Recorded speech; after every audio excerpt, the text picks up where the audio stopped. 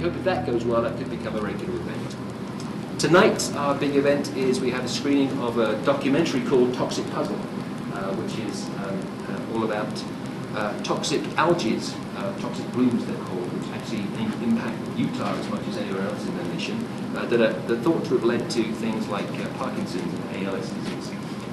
This was a four-year movie made by a local film director, Bo Landin, uh, and um, it was always, it's a work of passion for him, so this film talks about how he followed scientists for four years as they figured these things out. Uh, and they got Harrison Ford to do the, the narration of the film as well. It's a, it's a cause dear to his heart as well. So tonight we've got a screening of that film, followed by a Q&A with Bo, who's the, the director that People who get this essentially have a death sentence. If I could discover a new drug, it would help millions of people. The big quest to me was to try find something to treat ALS. This is probably one of the worst diseases known. It's the structure of scientific revolutions. Paul's a risk taker. I've seen the puzzle pieces go down. I think he's a winner. The toxic puzzle has many pieces. One by one, they've fallen into place. Science has opened up doors to a future which is both threatening and yet promising. This is like a slow toxin and it's a silent killer in a sense because we don't know that it's in the water that we're drinking, we don't know it's in the food that we're eating, but we now know that it can cause these uh, neurodegenerative conditions like Alzheimer's disease. By, for people who reach the age of 85, there's a 50-50 chance they're going to have Alzheimer's disease. And Alzheimer's disease is taking millions of people and it's costing trillions of dollars. Maybe soon, the scientists will lay down the missing piece. Are we closer to a cure? Um, I would say, I don't want to use the word cure, but I think we're close to uh, prevention, and that's better than a cure. Well, when you're this sick, there is never too much hope. Like, you know, if you told me to lick a tree, I probably would. Yeah, I put all my hope in Paul. Because he's the only one that's ever given me, like, any, like, inch of hope.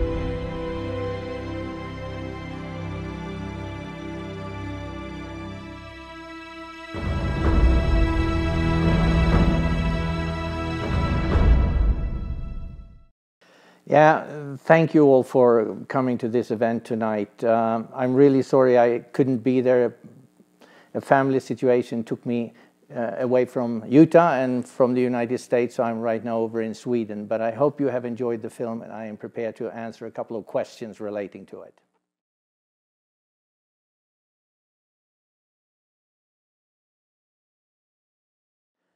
The way I arrive at a film topic uh, or a topic that I would like to do a film about is quite often that I meet a person who tells me a story. And if that person can tell me a story that grabs me, it can be intellectually or emotionally, then I, I feel this is a film I need to make. And that is exactly what happened when I had dinner with Dr. Paul Cox, who is originally here from Utah, and his laboratory, as you have seen in the film, is up in Jackson Hole, Wyoming. And he started to tell me about this new subject matter that he was working uh, working with. And I said, Paul, this this is this is a film. I I need to do this. And and he said that that's fine, but you're gonna have to sign a non-disclosure agreement because everything I tell you now is secret as long as we are doing the research. And I have never signed a non-disclosure agreement before with anyone, but I did, which meant that I could not publish this film until the scientists published their findings. And that, that's a very rare uh, thing to happen to a filmmaker. But that's also why it took five years before we could uh, start editing uh, the first frames that we shot uh, and finally make a film out of this.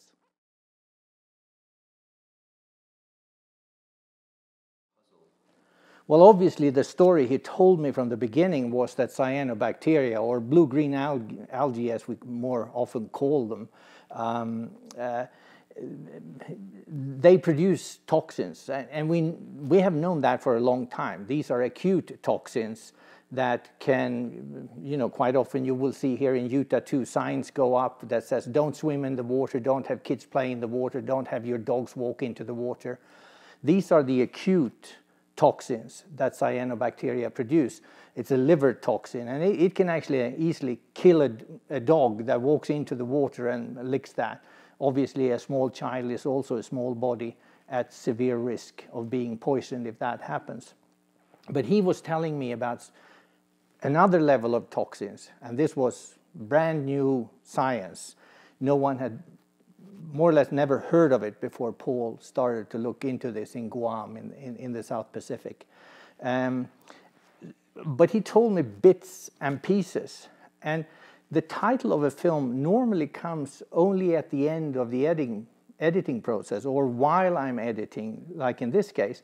I heard scientist after scientist in interviews I shot say, oh, we have this piece of the puzzle now, or we have this piece of the puzzle. And I figured, yes, that's exactly how they work. They are looking for pieces in a puzzle of knowledge. And this is a toxic puzzle, I then say, because they, that's, that's what they looked for, that's what they learned uh, through this process.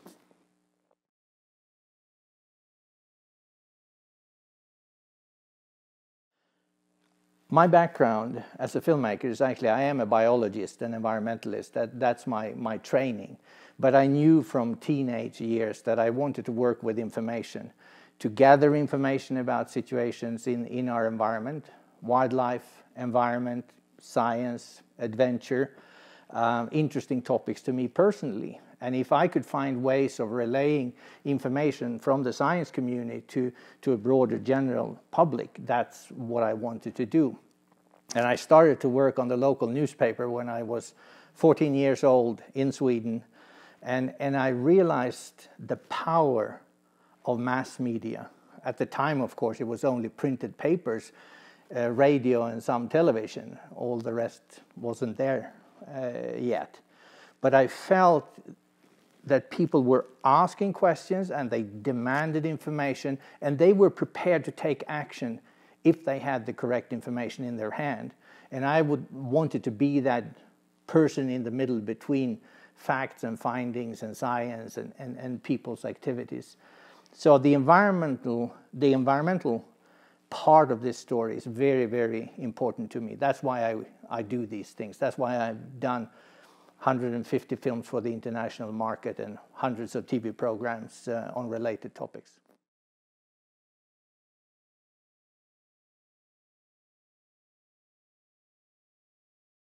I'm, I am not impartial when I do editing of, of, of a film. I've said ever since I started with mass media that there is no such thing as objective journalism. That's a myth. Facts may be objective. It is 100 degrees. That's a fact. But how I interpret that as hot or cold is an interpretation of facts. And most of the things we read about and hear about are interpretations of fact. Someone is doing those interpretations. It can be a reporter, it can be an editor, but in every step of the way, I, as a director of a documentary film, I can say I'm portraying reality, but with every question I ask, with every cut I make in the material, with every part of the movie. I, I add music to create emotions. That's also relating, putting my relation to the facts uh, in, in a film. So for me, it's very important to actually do films that has a message, uh, to do films that touch people. Quite often I say, I don't know how you reacted to the film you saw tonight.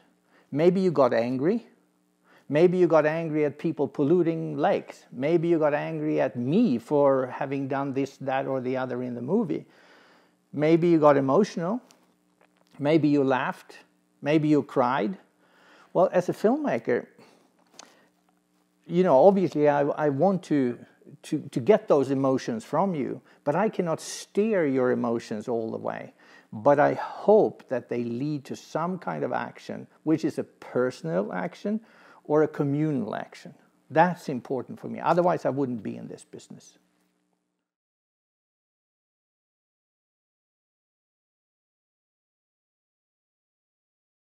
Since we uh, released this film a year ago, a lot of things have happened.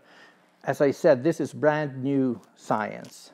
And I have met scientists in other countries who don't believe in this um, because they've never heard about it or they have never tested the hypothesis that the scientists in Jackson Hole under the leadership of Paul Cox have now proven. But the FDA that gives permissions for clinical trials of uh, medicines or substances that can uh, work in place of medicine have been really quick at giving uh, uh the scientists now, both they've already done phase one clinical trials for ALS, Lou Gehrig's disease, and for Alzheimer's. They have now gotten permission. They are underway with the Alzheimer's phase two, and they just got the permission for, for ALS uh, phase two. All of this work is done um, in Dartmouth at the university and the, and the university hospital uh, in Dartmouth. And it's um, obviously nothing, nothing has yet been uh, published, but from the phase one clinical trials, we can say that this is really, really promising that the L-serine that we present in the film could be an agent to block the progression of these illnesses. It's not a cure, it's a blocking agent for the progression of the, those illnesses. And why would that be important? But let's say that you have an early onset of Alzheimer's if we can block the progression for maybe 10, 15, 20, 25 years, uh, there's a chance that we can block it beyond your lifespan instead of having a quick progression of, of Alzheimer's into the ter terrible disease it is. And the same goes for ALS, uh, Lou Gehrig's disease.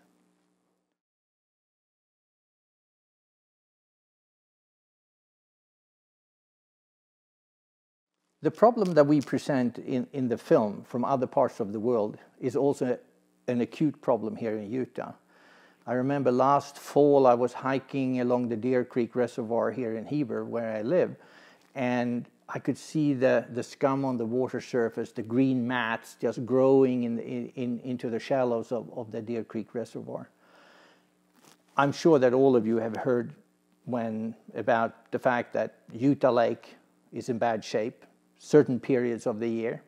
The Harriman Reservoir is one of the reservoirs that closed because of the acute toxicity of blue-green algae or cyanobacteria.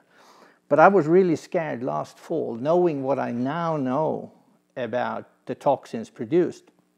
And I could see the kite surfers on, uh, on the Deer Creek Reservoir nonchalantly just going about their business and enjoying the reservoir.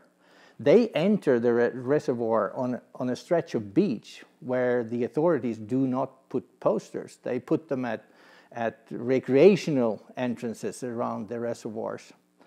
Um, I don't know if that is the reason why the kite surfers continue doing what they're doing, but I can say that the scientists up in New Hampshire, they know that there is an increased incidence of ALS, Lou Gehrig's disease, among people who do frequent water skiing. So take this seriously. It is a serious problem in Utah. And periods of the year when the blooms happen, when it gets warmer, quite often could be early season, but more often at the end of the season. Stay away from green, murky, smelly water. Don't go near it.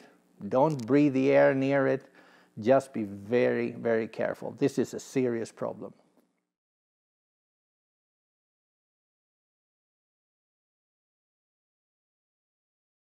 In, in a sense, this is a man-made problem, and yet it's not. Blue-green algae or cyanobacteria are the most common organisms on planet Earth, and they have been around for at least three billion years. They were the first organisms on Earth. We have always had them in, in lakes and streams. They are important for the ecosystems. They are the basic food for a lot of organisms in the oceans and lakes. But we make it worse by adding fertilizers that feed them. In, in the 60s and 70s, a lot of human waste, um, we didn't have water treatment plants.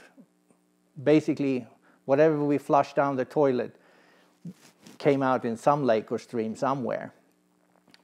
Back then, we could put a treatment plant at the end of a pipe. That was a very easy way of taking care of a problem. And the problems disappeared in the lakes. Lake Erie is one example. Lake Erie cleared up, turned into a very nice lake. And suddenly we were back again.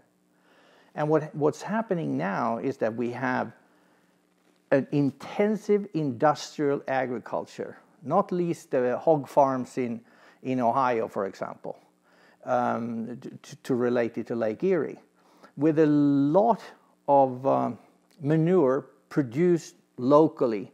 And what do the farmers do with all the manure? They pour it out on the fields in the wintertime. With the flooding in the, in the spring and, and the thawing in the spring, that material just goes into the lake. And now we're feeding the cyanobacteria again, and they just love it. They grow because they have food. Same thing happens here. What we're doing here in, in Utah is that we are fertilizing our lawns, quite often too much. That is also a runoff that goes into Provo River or the streams and, you know, around our lakes and, and reservoirs. And we feed the system. You can see the difference between the, the Jordanelle Reservoir, which gets fairly clean mountain water, where the blooms are not really acute. But as soon as Provo River comes into the Heber Valley, a lot of agriculture here, the Deer Creek turns into a green mess in the, in the early fall. That continues down into Utah Lake, and we just add in water body after water body. So we have to start to look. It's very hard to put a, a, sewage treatment plant on a landscape. We can't do it. So we have to change the way we're dealing with agriculture, how we produce our food. And that's why, as we said in, in the film, that this problem really starts on our plate. It is what we eat and how we produce what we eat that is now affecting this problem severely.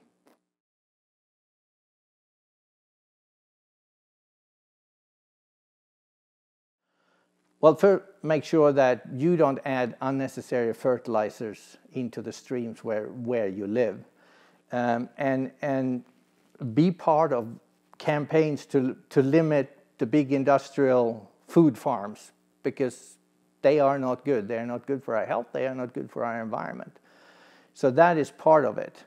Um, but for me, as a person who deals with film, who's producing information, I think we need to spread the word so that more people are aware that this is a danger, so that you can stay away from the lakes when they are green.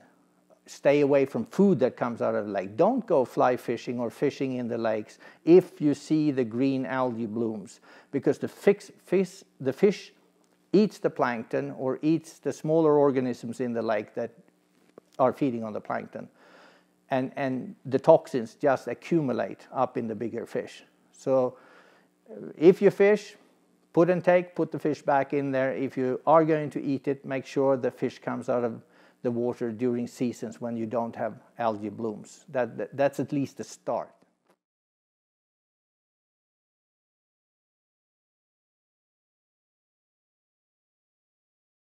there are two sources on this topic. One is that you go to the uh, website or Facebook page for the film itself, toxicpuzzle.com or toxicpuzzle on, on Facebook.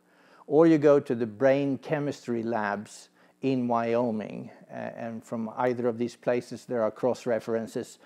You will see up, updated information. We have published a lot of bonus material on our website. You can see extended interviews with uh, uh, with scientists and so on. And we continue to publish new information because there is new information coming out every day. This is an ongoing, uh, never-ending story.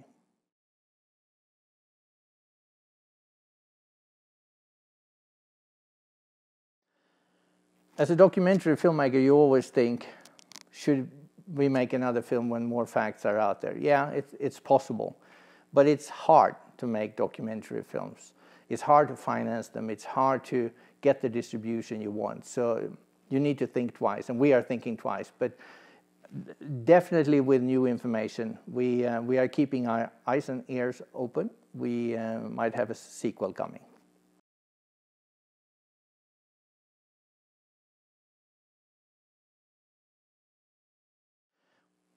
It's very interesting to see the scientists at the Brain Chemistry Labs, which is a non-profit organization in Jackson Hole.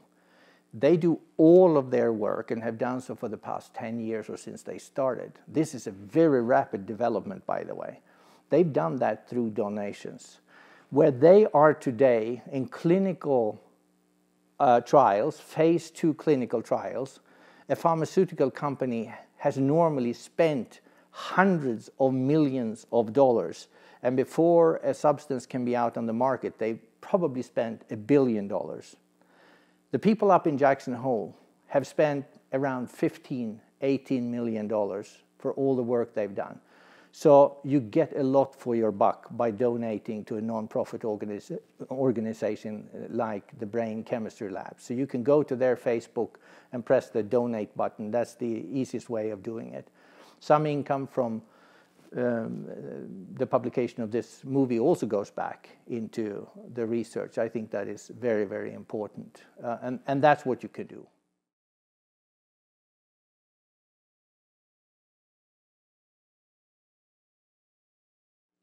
Winning an award for a film rarely brings extra money into your pocket or filling the big deep holes that you always have after uh, having produced a documentary film. But it gives you recognition and it increases the chances of getting distribution for, for a film.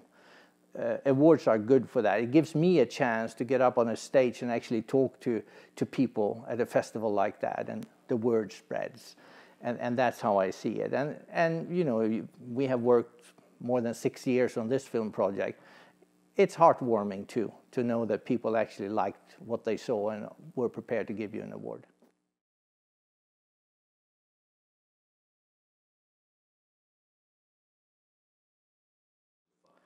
Well, the latest one was to win Best Feature Documentary at the Utah Film Festival and Awards uh, in Provo only a couple of weeks ago. Um, but we also won um, an award at the Impact Docs uh, and the impact docs is awarding films that, that actually have an impact on society or individuals, uh, films for change. And that is very important to us to win an award like that. So uh, that was very, it, it, was good for us, it was good for the film, and we have also been selected for a large number of film festivals, and we're still in the festival circuit, so more festivals to come.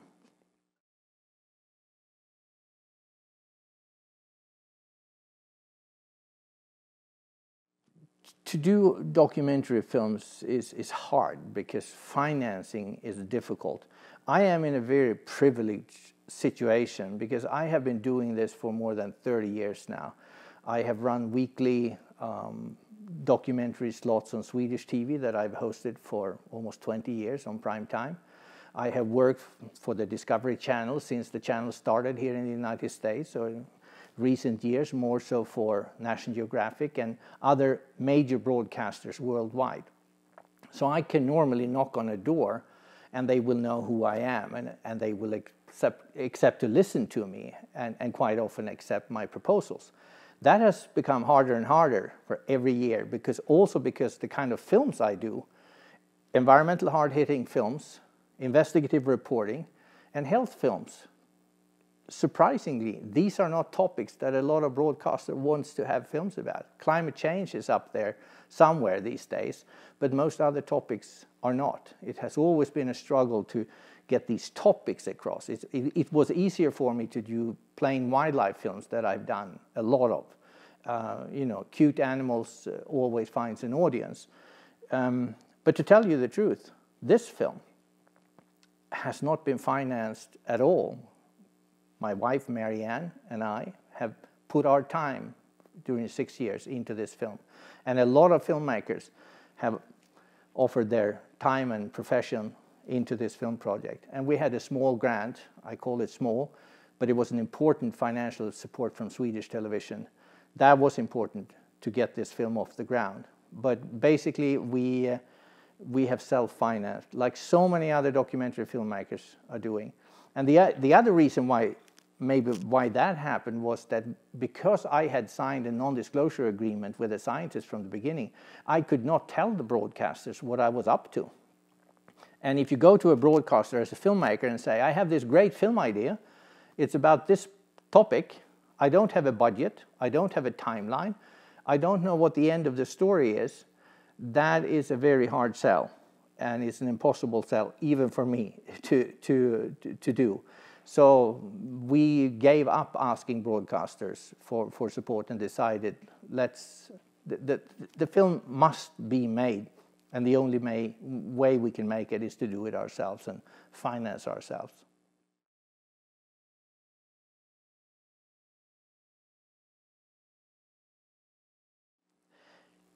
To, have uh, film crews and people backing up a, a film like this is, is very important. And I was so happy when, uh, through personal contacts, we, we got in touch with Harrison Ford and asked him uh, if he could think of narrating this film?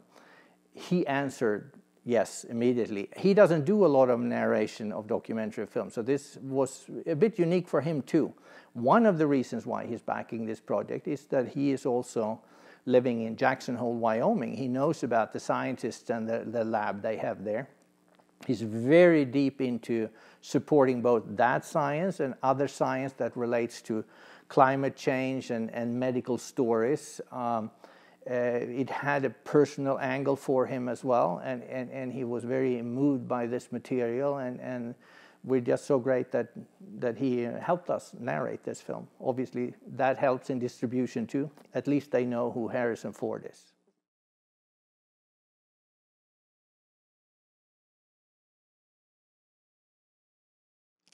If I should be really honest, I should probably say that documentary films do not make money.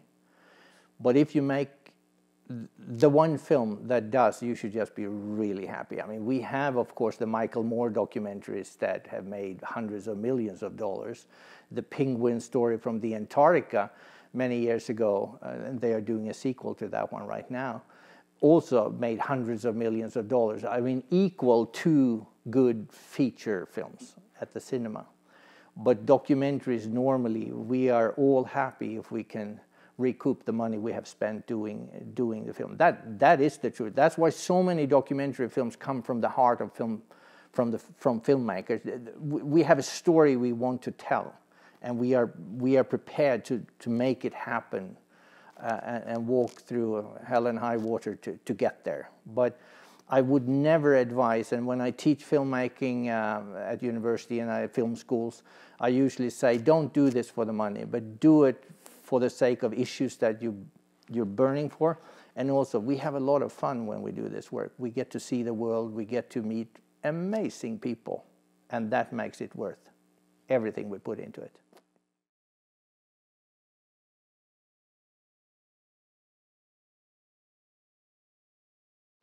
Well, Scandinature Films, which is our film production company, we've had a studio in Sweden for 25 years uh, with a lot of our own employees, film crews, editors.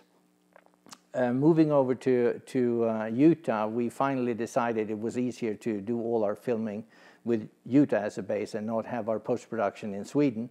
Um, but all the people that through the years have worked with us at Scandinature are now, are now participating in, in this and other film projects we do as camera crews, and, and they are really good. And of course, we like to work with them. You, you develop a personal relation with people in your film crews, both when you're shooting and when we're doing po post-production, which we're doing here in, in Salt Lake City with huge sound, uh, huge uh, studios down, down in Salt Lake. Um, very nice people that we have done several films with, both with editing and sound post-production. So Mike Fox, Mike McDonough, Steve Lanieri, who lives here in Heber, has been our sound recordist on, on shoots. And, and I try to use as many of the new relations uh, that we have created here in Utah. Greg Windley, who lives here in, in, uh, in Heber, has shot some of the material. It's, it's, and when you shoot documentaries, you don't go out with a feature film crew of 20 people or whatever. We're quite often only a sound recordist and a camera person, and my wife Marianne as a producer, and, and, and filling in wherever the film crew needs help, uh, and that's how we work.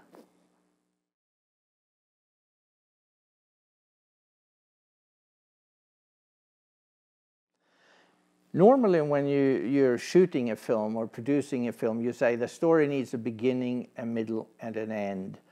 Uh, and like the French director once said, not necessarily in that order. But when you shoot a documentary like this, I only knew I had a starting point, and that was Paul Cox telling me about the project. I didn't know where the scientific story was going to end, so I didn't know how my film was going to end, or if there was going to be a film at all after five years of filming. But you sit there, like in our case, with 70, 80 hours of interviews and material from around the world, and the story develops in your head. You have main characters. It's like a feature film. You look for characters, you look for character development, you look for stories to evolve. Uh, and uh, I think it's a very interesting process. You get to know people. Very, I sit there with these scientists. It's like they are lecturing to me, private tutoring for, for a year and I need to find the pieces that goes together in this puzzle. As, as soon as I had the, the title come to me through the interviews, Toxic Puzzle, the puzzle word, then of course I could work on that in the editing process. Um, and it needs to have a climax in the film. I, I can't, Aristotle thousands of years ago told us how you tell a story and, and as a matter of fact we're still telling the best stories the way he did way back then.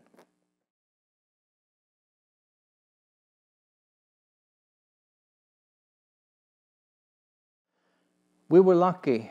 One of the few things that we were really lucky with was that we had a distributor who happened to see the film at our first screening in Jackson Hole, uh, which was a preview screening. And, and they decided immediately, we want to distribute this film. Um, that's rare that a thing like that happens that way. But it meant that as soon as we had the world premiere at the Newport Beach uh, Film Festival, we could release uh, this film online because I realized I'm not going to get it on television any anytime soon, and we immediately got it on the uh, the streaming platforms: iTunes, Amazon, Google, Microsoft TV, and Vudu. That's fantastic because people can download it for streaming for a couple of bucks or download it to own for a few more bucks.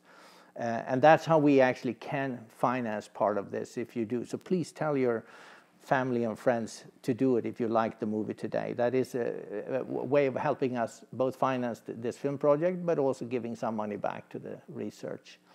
Um, but but it's key if, if you're an individual filmmaker, you need a distributor. They know where to take your film. If it is good enough, if the story is good enough, if the technology that you have used is good enough, and so on. Um, um, but it's hard.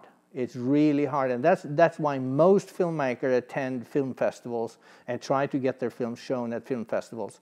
It opens doors to distributors, and that's the key thing. For example, for Sundance, once you have your film into Sundance, that normally opens doors for distribution.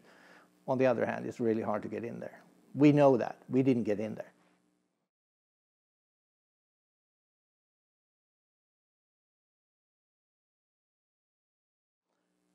Probably the advice I would give someone who is even thinking of doing documentary films is don't do it because it's so hard and it's just going to make you cry that you ever started on this journey. But if they get over that hurdle, I say use your passion whatever you are passionate about, whatever your brain, your heart, your emotions tell you this is an important story to tell, go do it. Technology today is so simple. I mean, we're shooting this with regular SLR cameras, um, and you can even use your, your smartphones to shoot movies. It's, it's good enough. Just remember one thing technology doesn't make your movie Story makes your movie. So find the story. If you're touched by the subject you're, you're, you're interested in, I'm sure some other people will be there, will be also touched by it. And you can reach them through streaming platforms or your Facebook pages or your YouTube channel. There are so many ways of distributing material today that I didn't have when I was a young filmmaker. Uh, and and uh, Go with your passion. Passion is the number one ingredients for documentary filmmaking, behind the camera and in front of the camera.